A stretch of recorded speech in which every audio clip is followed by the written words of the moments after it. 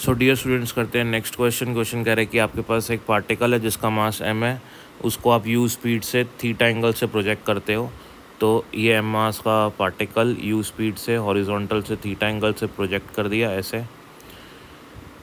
Magnitude of torque about the point of projection when the particle is highest point तो इस point के about जब वो highest point पे पहुँच जाता तो कितना टॉर्क होगा? ये निकालना है। उनको टॉर्क का फॉर्मूला होता है dear students R cross F R मतलब पोजीशन वेक्टर ये निकाल लो और ये निकाल लो, दोनों का क्रॉस प्रोडक्ट करो आंसर आएगा।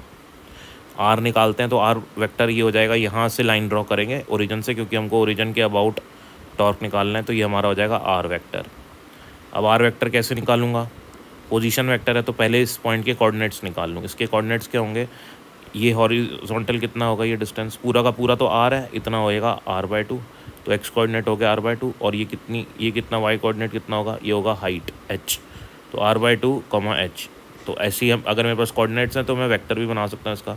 R by two X direction में और एच वाई डायरेक्शन में। तो R by two I cap H J cap ये तो होगा मेरा आर वैक्टर आर क्या होता है? U square sine two theta by G और एच क्या होता है? U square sine square theta by two G है ना? ये वैल्यू अपन को यहाँ आर की जगह पुट करनी है और ये वैल्यू अपन को एच की जगह सब्सिट्यूट करनी है।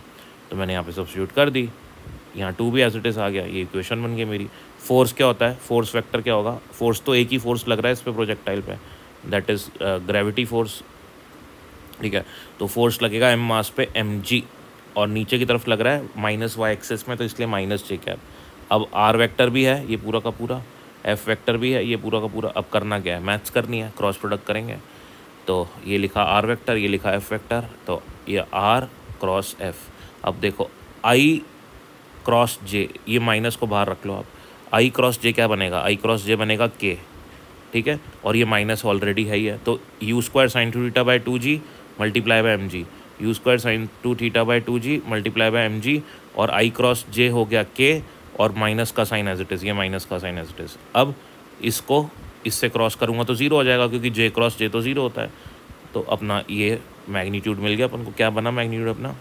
मैग्नीट्यूड बनेगा एम यू स्क्वायर जी से जी कैंसिल कर दो sine two theta by two ये तो मैग्नीट्यूड हो गया और माइनस के कैप डायरेक्शन हो गई। So this is the answer thank you.